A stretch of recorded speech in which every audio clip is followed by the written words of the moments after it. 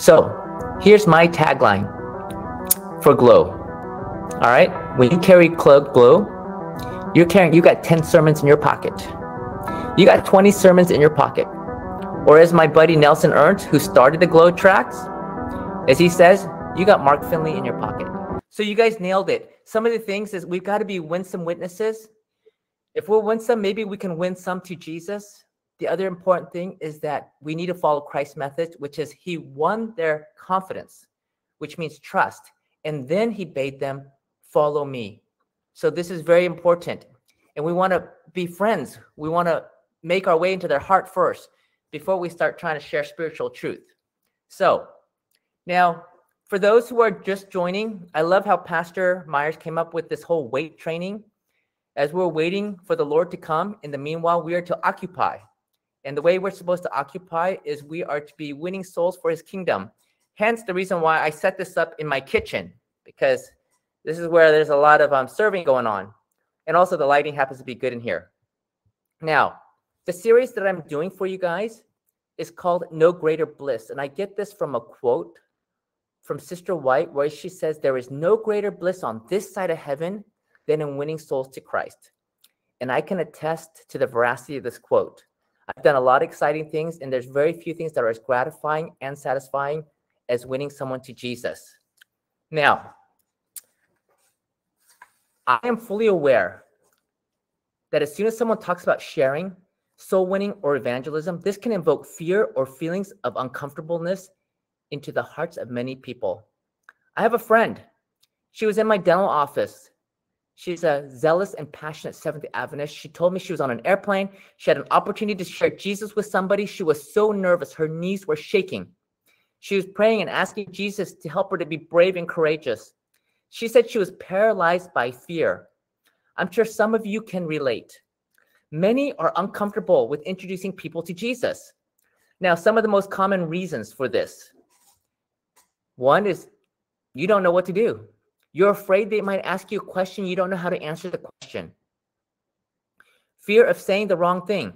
And if you compound this with someone who is shy or introvert, it can be overwhelming. Now, reports estimate that roughly 30 to 50% of the population are introverted. For those of you who don't know Pastor Myers personally, Pastor Myers is introverted. And you'd be surprised a lot of the well known speakers out there are introverted. If you have a room full of musicians or artists, the number can go up. I have a very special place in my heart for introverts. I love introverts. I married one. My wife is a genuine introvert. She is what I call a high functioning introvert. This means people who are close to us, they think that my wife is super social. But if you really get to know her, total introvert. She's happy as a clam at home.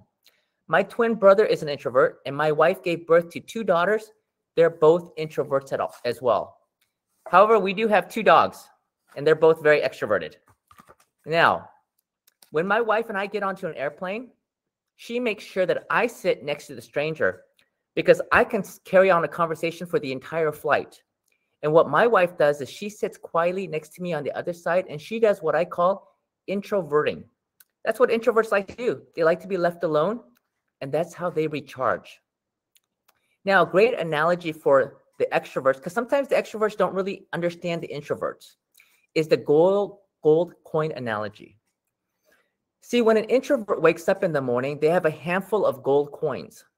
And every time they have an interaction with somebody, they are giving a gold coin away. And pretty soon, if they have too many social interactions, they're depleted of the gold coins, and your typical introvert goes to bed at night with zero gold coins. Can anyone guess how many gold coins an extrovert wakes up with? And feel free to put in the chat box, okay? I love interaction. How many gold coins does an extrovert wake up with? That's right. You guys, hey, Clint nailed it. He said none. We extroverts wake up with zero gold coins, but every time we have an interaction, guess what? We get a gold coin. And so we love interacting with people. We get energized by being with people. And at the end of the night, when we go to bed, I had a slide of it. We have a pile of gold coins. So I'm trying to help the, uh, the extroverts to kind of understand what's going on between the introvert and extrovert. Now, what many extroverts don't realize is that something as simple as an icebreaker at church and we tell people we want you to get into small groups can make an introvert start looking for the exit sign. One person shared on Reddit that they went on a three week backpacking trip just to avoid two family reunions. And all the introverts are not like, yep, I get it. When we hear when we hear everything is canceled because of the coronavirus, most of the extroverts we're like, oh no. And the introverts are silently saying, yes. For some introverts, they don't mind the text, but they dread the phone call. Some introverts will literally watch the phone ring until it goes to a missed call. When you invite an introvert and they respond with, I'll let you know, I'll check my schedule, or I'll text you, those answers can mean that they are not interested and would rather stay at home where it is peaceful and quiet. And we need to be cognizant of this. I shared the above about introverts and extroverts to underscore two points. The first point that I'm very sympathetic to those who do not naturally feel comfortable to engage with strangers and how daunting it can feel for some to try and witness to others when it seems so easy for some people to share Jesus. And the second reason, in evangelism, we are dealing with the minds of people and there is much interpersonal dynamics that occur. So especially for us extroverts, it is very important for us to understand that people are wired differently. And this will help us to be more effective in our interpersonal relationships with those we are trying to reach. Now, I have great news for you all today because I'm married to a bona fide introvert, and I know that engaging and interacting with complete strangers can be daunting and intimidating at best, and outright frightening and stressful at worst for some people. The beauty of the subset of evangelism, of evangelism that I will be highlighting today is that it is so easy. You can even do it without talking to anyone.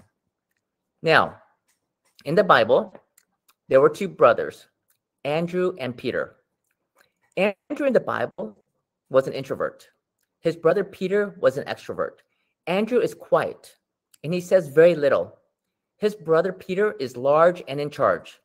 In the Bible, when Peter had nothing to say, he'd say something anyways. And Mark 9 6 is an example of this. On the converse, Andrew is an introvert. We don't see him preaching. He's not a mover and a shaker like his brother Peter, but he is one of Jesus's disciples. Andrew is only mentioned three times in the book of John. Each time he is mentioned, he is quietly doing just one thing. He's just connecting people to Jesus. In John chapter 1, verse 40, one of the two which heard John speak and followed him was Andrew, Simon Peter's brother. He first finds his brother, Simon. And what does he do? He brings his brother to Jesus. Now, six chapters later, in chapter 6, what you have is a story of the little lad with the two fish and the five barley loaves. And here you see him bringing this little lad to meet Jesus. In verse 12, you see Philip and Andrew, and you know what they're doing is they're connecting some of the Greeks to Jesus that wanted to meet him. When I look at this pattern, I love how he first brought one of his family members to Jesus. Then he brings someone who is part of the fold to Jesus. We call this inreach, right? And then he brings an outsider to Jesus. I like this progression because we are told that we are to begin in Jerusalem and Judea and Samaria and then to the outer ends of the world. We are to start right where we are at and then move out. All we see Andrew doing is quietly connecting people to Jesus. Andrew and Peter are not wired the same. Not everyone is called to preach like Peter. Good news. Sister White says, Not all are called to preach, but all are called to share. Now, normally in my PowerPoint presentation, I have a picture and there's a GloTrack sitting, and I ask people, do you know where this GloTrack is sitting? And it's sitting on top of the toilet paper dispenser in a public restroom. Why do I have that picture on there? This message came to the Glow office about uh, about a year and a half ago. This is what someone wrote. I found a pamphlet in the bathroom, and I'd like to know more about the great controversy between Christ and Satan. Yes, I'd like Bible studies too. I found the pamphlet and I was impressed that God opens and closes doors. Just imagine if you're the one who placed a glow literature track right in a public restroom. No one even saw you do this. And now somebody wants a Bible study. Can you imagine this? Years ago, I was getting out of the car with my friend who's an orthodontist. And as soon as he jumped out, he took a glow track and he put it on another car next to his car. Didn't take hardly any time to do this. Just place a glow track on another vehicle. But would this do any good? My friend Tara shares a story. When the Pope came to the United States a number of years ago, they did a big glow rally to try to share as many glow tracks. I think they were trying to shoot to share a million glow tracks in Philadelphia. So her and her friend, they had put glow tracks on all these cars, and then they came back a number of hours later to put more glow tracks on the cars. And here's what happened. As they left, someone drove really quick and almost hit her roommate. The guy was trying to get her attention and tried to hand her a $100 bill. He told her roommate, This morning I told God I would end my life tonight, but, but if He was real, to show me or I will go through with my plans. How did you know to put this promise of peace small booklet on my car door? I read it. I cried. I know God is real, but I didn't think He would answer me. Please take this $100 bill. But her housemate said, I cannot accept your money. It is all God. I'm simply doing what God told me to do to share his love with others, to others. One glow track on someone's car just saves someone's life. But people think, yeah, but if I leave a glow track on a car, it's going to fall off, it's going to land on the street. What a waste. A young man found a discarded glow track on the ground and he picked it up. The glow track was titled, Why I Go to Church on Saturday. He then went home to his mom. Why do we go to church on Sunday instead of Sabbath? His mom froze. Can anyone guess why his mother froze? She was once an Adventist, but had departed from the faith and was taking the kids to a Sunday church. The young man's interest continued to grow, though. He began attending the Adventist Academy and has become a baptized member of our church. You don't even need to talk to somebody, and you can connect people and win people to Jesus just by sharing literature. No one has an excuse not to share literature. I'm going to tell you words from the pen of inspiration, what Sister White tells us. We should treat as a sacred treasure. When you think of sacred treasure, what's sacred treasure? Would that be like a copy of the Declaration of Independence? Sacred treasure, every line of printed matter that comes from our publishing houses. Even the fragments of a pamphlet or of a periodical should be regarded as a value. Who can estimate the influence that a torn page containing the truth of the third angel's message may have upon the heart of some seeker after truth? Every page that comes from the press is a ray of light from heaven to shine into the byways and the hedges, shedding light upon the pathway of truth. Let us remember that somebody would be glad to receive every page that we can spare. If you believe the quote that I just read, you cannot but value printed literature. We are told it is a ray of light. One other story. At the Pope rally, they say it was the best place to hand out literature. You know why? People thought it was Pope memorabilia. So people are wanting the literature that's being handed out. With this gal, she is at the airport, waiting at the airport when this event was over. And she said that the Holy Spirit kept impressing her to go speak to some guy that was standing there with Pope paraphernalia on, memorabilia on. She is shy. She is shy. She could. She did not want to talk to him, but she could not have peace until she went to give him some glow or to speak with him. Finally, she went up to give him a glow track. The guide tells her, "I came all the way from the Dominican Republic to find spiritual answers and peace from the Pope. Then someone gave me this booklet. I didn't." Feel, okay, the guy tells her, "I came all the way to see the Pope, but when I saw him, I didn't feel anything." He came because he wanted a spiritual filling in his life. And yet here he sees the Pope, he doesn't feel anything.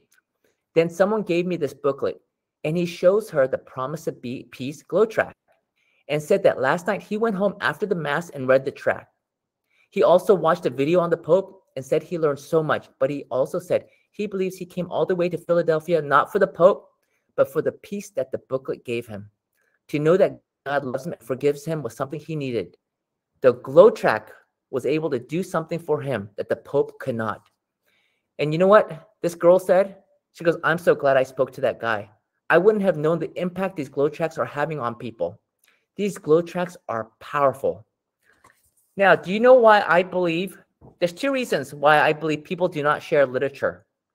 I'm going to share the first reason why now. It's because people do not understand and they underestimate the power of literature. That God uses this literature. And when we use this, we are told the secret of success is the union of divine power and human effort. And when you and I put forth the effort to share literature, then God blesses with his divine power and it can be life changing and win people to Jesus. Now, years ago, many companies were coming up with the first, what do we call them now? Um, MP3 players. Many, many companies. Everybody was on a race to create the first MP3 player, and get it branded. And all these companies struggled. Do you know why? They couldn't convey to the public what an MP3 player was. What is it? I mean, you all know what a Walkman is. Some of you are old enough. Remember those cool yellow Sony Walkmans? I used to have one of those. And then they were replaced by Discmans. The problem with the disc players was that they would skip. And then they came up with the MP3 player. But how do you convey to people what it is? They call this an audio digital player. It's got so many megabytes of memory.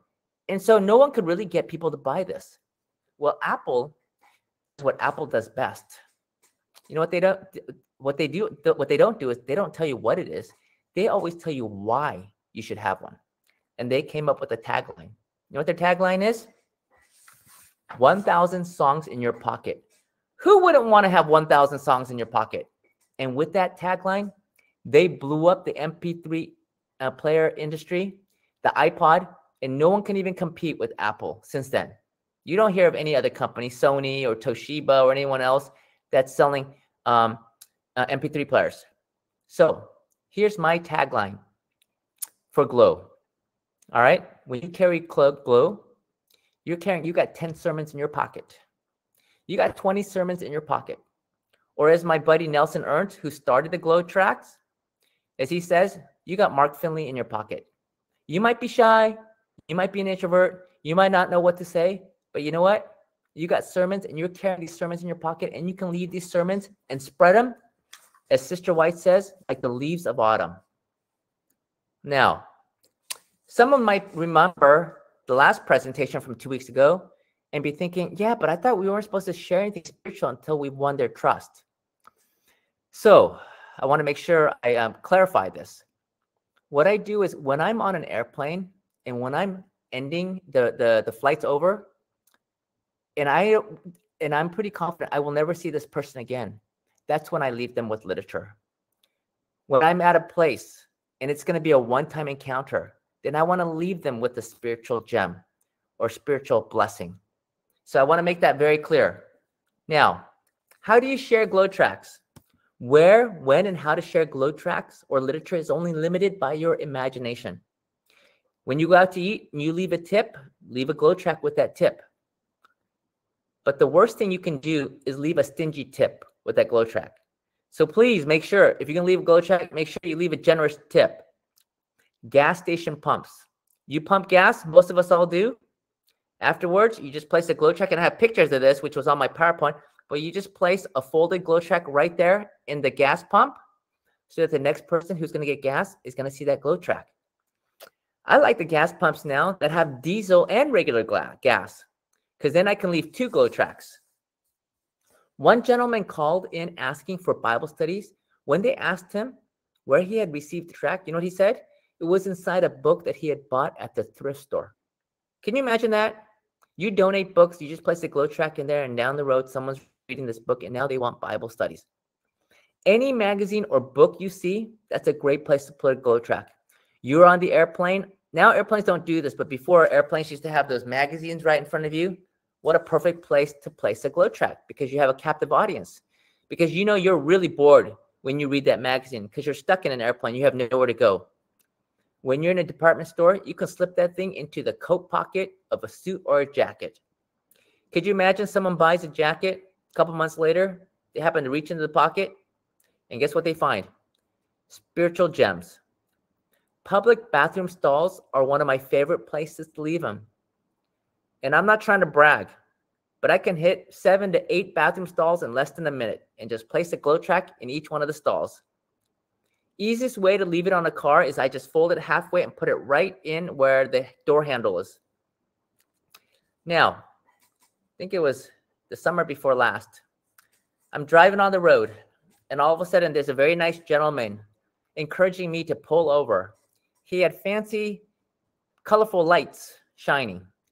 And here, this guy's encouraging me to pull over.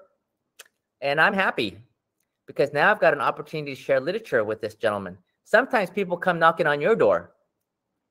Well, he was encouraging me to make a nice donation to our local government. And at the end, when he was done with what he was doing, I tried to hand him a great controversy. And he refused. He says he's not allowed to receive anything.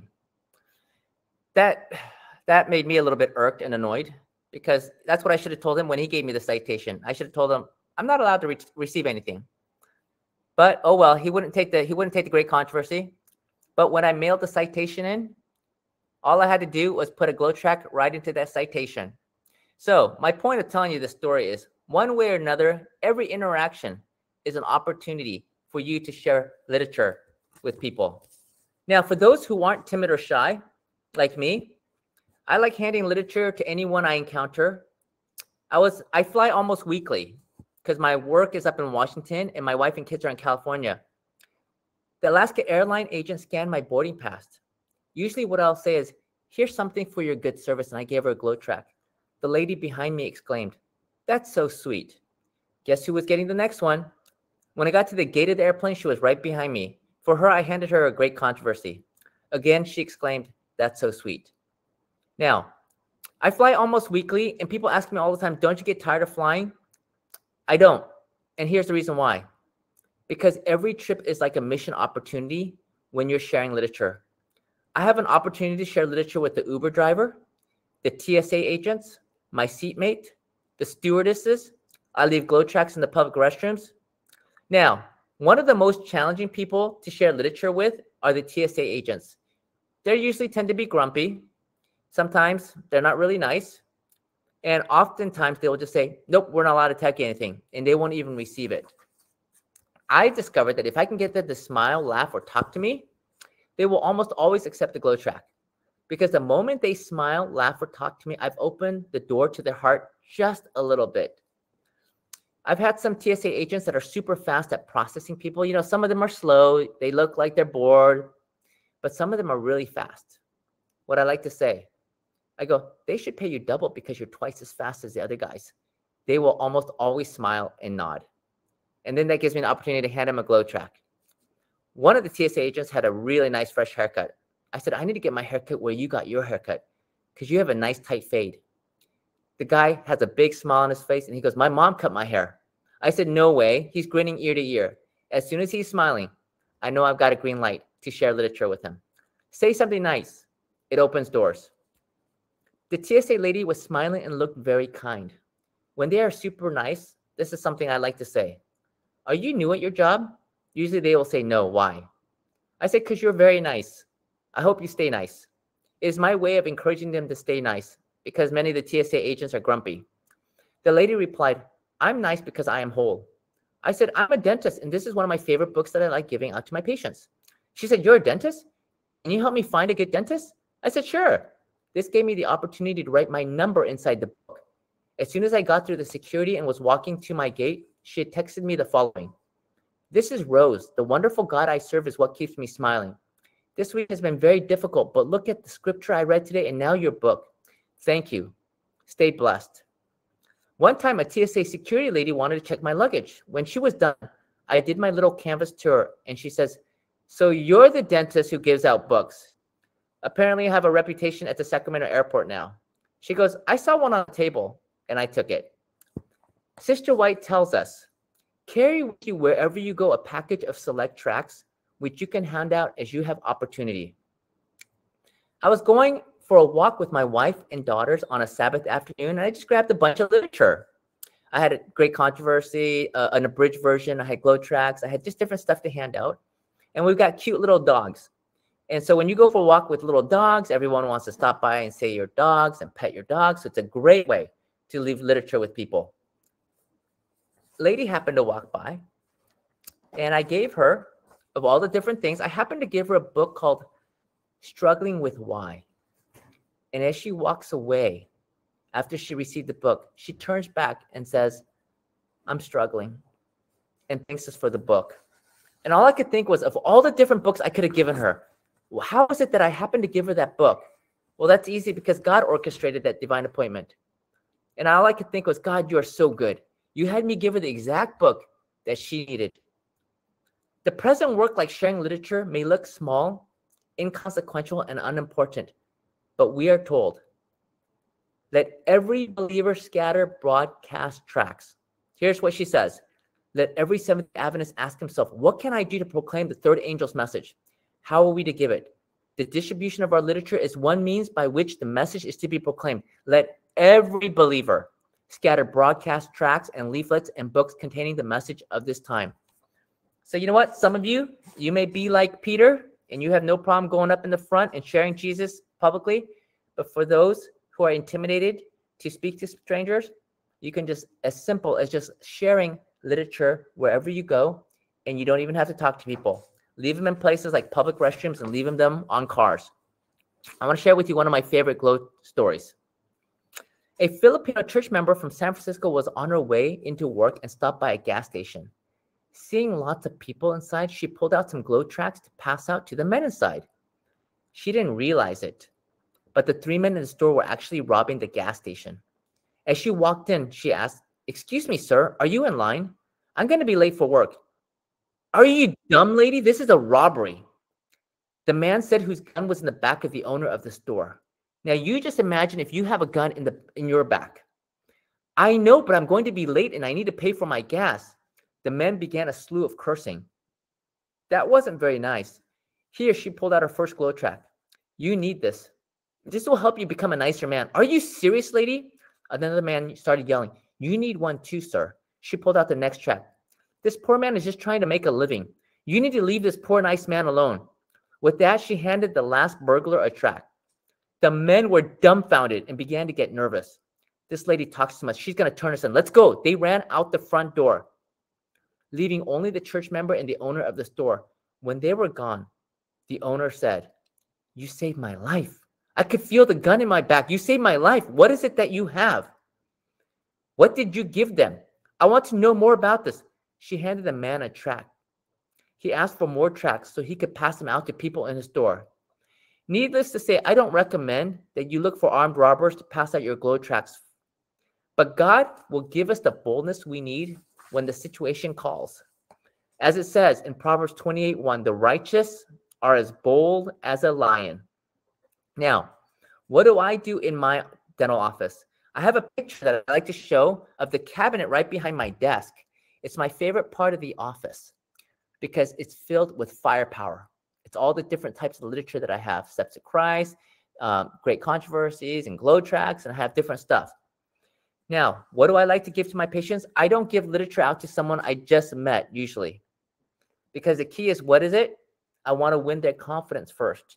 And so I check to make sure there's someone I either have had an amazing in- encounter with, if it's the first time, or someone I've had as a patient for a number of years, and the timing is just right. And if I have one choice of one literature to hand them, my top choice is a great controversy, and I'm going to tell you for two reasons. One is when you study the parable at the end of Matthew, the faithful and wise servant is sharing meat in due season. Meat, which is the word of God in due season, represents a specific time. It's present truth. You and I, living at this time of Earth's history, ours is to share present truth. And the great controversy in this one book has all the present truth in this book. So if I can hand out one book, that's the book that I want to hand out. Secondly, Sister White has a quote, and she says this. Listen very carefully. It is true that some who buy the books will lay them on the shelf or place them on the parlor table and seldom look at them. Still, God has a care for his truth, and the time will come when these books will be sought for and read. Sickness or misfortune may enter the home, and through the truth contained in the books, God sends to troubled hearts peace and hope and rest. His love is revealed to them, and they understand the preciousness of the forgiveness of their sins. Thus, the Lord cooperates with his self denying workers. So, the thing is, the point is, you may give someone a great controversy, they may not even read it, but as long as it's in their home, down the road, when the timing is right, God can move upon their hearts and they'll read the book. There was a lady in Sacramento. She lost her husband. Sometime later, she lost her job. Everything seemed to be falling apart. She came home, she sat down, she looked on the shelf. She happened to see a great controversy. She read it, and now she's a member of one of the local churches here in Sacramento. And if you've heard the story of David Asscherick and John Bradshaw, very similar stories because someone gave them a great controversy. They didn't read it the first time, but because they had it. And so my goal is I want to get a great controversy into every home of every one of my patients that I can. And so when a patient is profusely thanking me after some procedure, like, Dr. Kim, thank you so much. I go, I have something for you. And I go and grab a great controversy. And what I do is I just write my cell phone number in it. I come back and I say, here, this is my cell phone. And what I'm doing is I'm disarming them. Because you know, when your dentist says, here's your, here's my personal cell phone for you, you're like, oh, okay, thank you. So I hand them it. I said, this is my cell phone. You can call me anytime you have an emergency. And by the way, this is one of my favorite books. And I may say different things. I may say, you know, this world is kind of crazy. You'll enjoy this book where I talk about what the book is about. I'll mention a few things. But my goal is to share this book and get this book out to my patients. Now, a woman called me out of the blue on my cell phone. She said, You gave me a book and your number was written inside. Could you give our family Bible studies? She told me that they've been trying to learn Bible prophecy on their own and they were struggling to understand. Could you imagine trying to understand Bible prophecy on your own? I encouraged her to show up to my office in an evening. She came with her husband, two of her kids, and a daughter in law. And um, we started doing Bible studies together. And Sister White has a quote. I don't have it with me, but basically what she says is those of us who understand these truths, that we are needed to help explain and teach others who don't know these truths. So, what a special privilege you and I have. I swung by the hotel that my wife and daughter and I had stayed in over the weekend because my daughter had left her Sonicare toothbrush at the hotel. As I was walking in just outside the hotel, the hotel desk clerk says, You're the one who gave me something. I really liked it. He asked me what it was. He asked me if I worked for the church. I told him I had more. This time I gave him two more glow tracks and a Kingdom in Time magazine by Amazing Facts. I wrote my name and number and encouraged him to contact me if he had any questions. And I can tell you stories like that from the smoothie bar and from another uh, uh, at the airport where people they'll recognize you and they're like, "Hey, you gave me something," and it gives me an opportunity to share something with them again. And keep in mind, with people like this, when I can, I want to leave them my number. So if they want Bible studies or they got questions, I can follow up with them. For every five glow tracks or pieces of literature you shared, if one person was saved into God's kingdom, would you do it? Of course we would. How about if for every 20 pieces of literature? How about if it was only one soul for every 100 pieces of literature, would you do it? Because the truth is, we're not going to know until we get to heaven how many people have been saved by the literature that we have shared. It all depends on how much value you place on a soul. How much is a soul worth to you? Because souls is the currency of heaven. It is what heaven values most. Christ object lessons tells us at the foot of the cross, remembering that for one sinner, Christ would have laid down his life. You may estimate the value of a soul. Now, I'm going to skip this next part. I want to share with you one of my favorite glow stories of a man who loves Jesus with all his heart. And this story kind of underscores how much this man recognizes the value of a soul. My friend, I had shared the similar presentation in Idaho for a weekend revival. It was just one of the messages. And the next day, there was an EMT sitting at my table for breakfast, and he wanted to share with me his favorite glow story. And so he told it to me because he was there. And he is an advanced EMT, Seventh day Adventist. And one day they got a call in for someone who was struggling with breathing. Now, this can mean a lot of things. It could be very serious or it could be not very serious at all and he has a partner and they headed towards this house together in the ambulance. His partner is a former Adventist who has little interest in spiritual matters. And as Jamin describes, can come across as very rough around the edges if you didn't know her. When they arrived at the home and began walking in looking for the patient, Jamin noticed a Daniel prophecy timeline as well as the Ten Commandments on the wall. It's pretty obvious when you've got those two things, chances are high they're Seventh day Adventists. Even before he got to the patient, he could hear the patient's lungs filling up with fluids, indicating that this guy was knocking on death's door. Jamin recognized that this old man will die unless treated immediately. The man was in his underwear, leaning forward and only able to speak one to three word sentences. And he was an older gentleman, close to probably in his 80s. They need to get this gentleman on medications and to the hospital right away, or he will die. However, the old man insisted that they get him a shirt. There was no time for this. Getting him a shirt was ridiculous because as soon as they get in the ambulance, they're going to rip that shirt off anyway. They're going to cut it off. However, because the old man was so insistent, Jamin went to find him a shirt, if for anything, just to get this old man to cooperate. As soon as they got him inside the ambulance, they needed him to start breathing in albuterol via a nebulizer mask. And the only way this medication works is if the patient is breathing in the medication via the vapors. The patient absolutely cannot talk in order for this medication to work. While they are trying to get the patient to breathe in the vapor, he pushes the mask away while they are trying to get him to keep the mask on. And he says to my friend Jamin, Do you know Jesus? To which Jamin replies, Yes, I'm Adventist. While trying to get the mask back onto the elderly man's face, he then tried to tell Jamin how excited he was that an Adventist was helping him. Again, Jamin had to put the mask back on the man's face, explaining that the medicine can only work if he is breathing it in deeply and doesn't speak. The patient then pushes the mask off his face again and says to Jamin's female partner, Do you know Jesus? The very unreligious female partner replies, I've heard of the guy. As mentioned, this gal is very rough. She's repeating to the old man that he needs to keep the mask on and keep breathing. Exasperated, she says to him, "If this doesn't, if this doesn't work, we will have to intubate you." While struggling to get the old man to keep the mask on his face and keep breathing as his life is at stake, the old man then reaches into his shirt pocket with such a small amount of strength he had to grab a glow track to hand it to the female paramedic. She responded to him and said, I will read this if you stop talking. The old man is literally knocking on death's door. If not treated, he could die.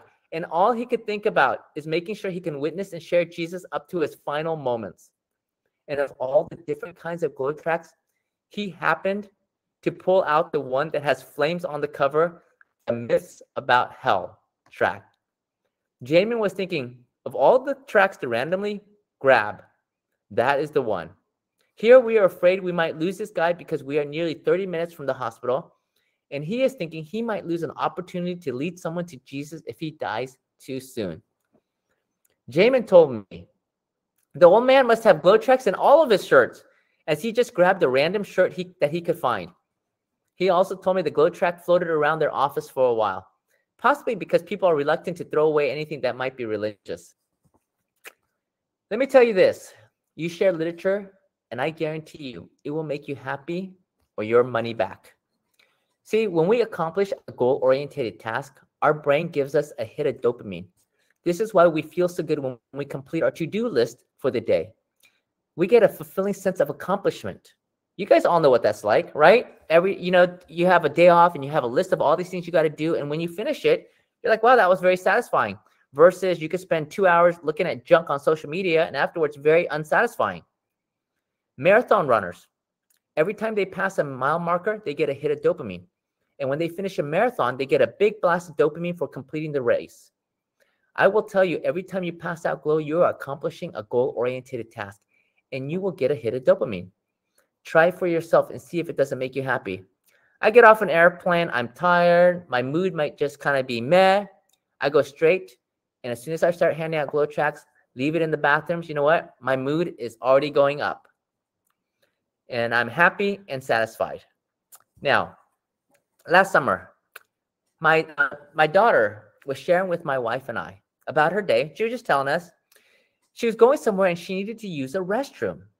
So she stopped by a Quiznos to use the restroom. She said, Can I use your restroom? And they said, Well, you have to buy something. She said, That's fine. So she used their restroom. And then what she did is she bought a soda because it's the cheapest thing on their list of things to buy. As she was driving out of the parking lot where the Quiznos was, she looked in her mirror and there was a homeless man sitting next to the building. So she backed up the car, opened the window, and she asked the homeless man, Would you like a soda? To which the homeless man agreed. And in Sacramento, it gets really hot, easily over 100 degrees most of the summer. He agreed. So what she did was she backed up, she grabbed the glow track that was in her door, which daddy puts in her car. And then she handed the homeless man a glow track and a soda. Now, I want to tell you three reasons why this little story my daughter told me made me so happy. First, my oldest daughter is pretty fairly health conscious and she doesn't really care to drink soda, so that makes daddy very happy.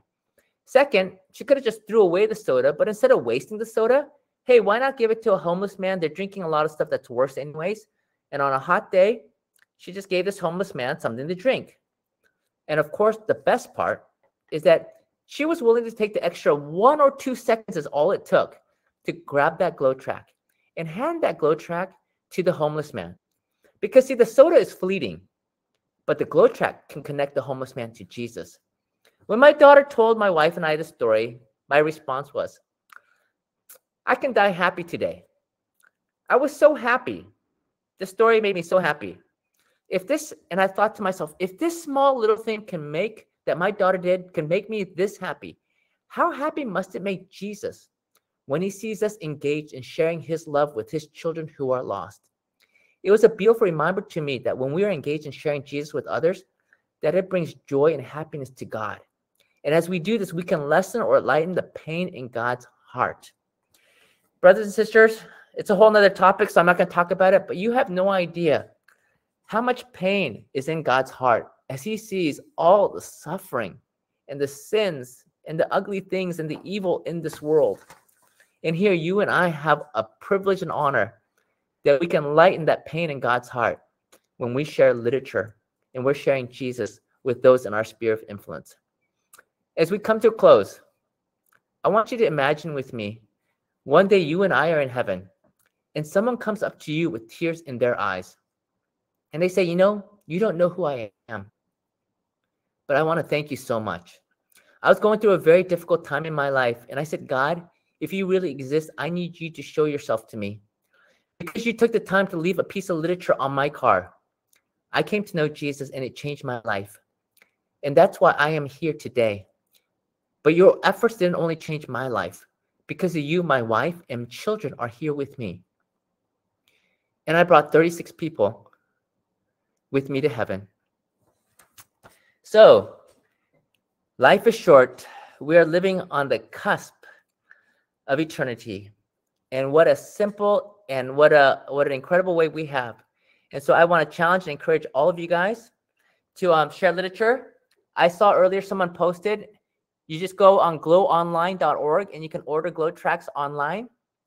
I work with ASI, and right now we're creating a whole new set of cards. I had pictures of it I wanted to show you, but they're basically just business cards. Nowadays, what a lot of ministries are doing is they have cards with a question on it, and on the back is a QR code. So you can think of it as a digital literature. It's hard to come up with a new name these days for a project. And so the name that I believe God gave to us, they're called LOA cards, L O A rolls off your tongue, sounds like aloha. You know, we live in a time where people use words like Viber and Yahoo and Google and Uber. So LOA stands for Leaves of Autumn because Ellen White told us we're supposed to scatter literature like the leaves of autumn. They're beautifully designed cards. They look like cards you would see in an upscale hotel. They have many different topics um, and a QR code, which can link it to sermons. It can link it to presentations, video, uh, songs, videos, all kinds of different things. We're um, partnering with Amazing Facts because they are the right arm of the gospel. I'm sorry, they're they're the evangelism arm, and then we're partnering with Amen Ministries because they're the medical missionary work. So we want to partner with the right arm of the gospel, and uh, you're going to hear more about it. So I'm just giving you guys just a, a snippet about the Loa cards. I love it. Someone put law of love. Um, laugh out loud. Um, law, Loa stands for many other things like Lord of all, law of attraction, love one another. But for our situation, it stands for um, leaves of autumn. Anyways, thank you so much. It's been a blessing.